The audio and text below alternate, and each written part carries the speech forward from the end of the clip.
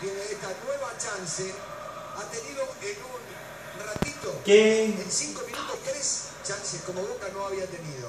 Esto habla de que pusieron un chico despierto, rápido, ambicioso, goloso, y de un equipo que ha decidido renunciar a la defensa.